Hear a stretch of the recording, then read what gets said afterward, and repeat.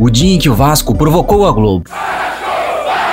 Na final da Copa João Avelange de 2000, Vasco e São Caetano disputavam o segundo jogo da decisão, quando ainda no primeiro tempo o Alambrado de São Januário cede, ferindo mais de 120 pessoas. Com a paralisação e muitos desentendimentos, fica decidido que a partida seria cancelada e remarcada para o ano seguinte. O então presidente vascaíno Eurico Miranda interpretou que a emissora Globo, que transmitiu a partida, havia manipulado negativamente matérias nos dias seguintes, envolvendo ele e o time carioca, além de ter um monopólio monopólio de transmissão e definir os horários dos jogos. Sem contratos de publicidade no início do ano, o Vasco de Eurico provoca a Globo, estampando a logo do SBT na camisa. Na época, o principal concorrente da emissora, algo que o próprio Oi. SBT não tinha conhecimento e sem custos para a emissora de Silvio Santos. A final foi marcada por ofensas da torcida para a Globo, Romário fazendo gol e deixando a taça com o Vasco, vencendo por 3 a 1.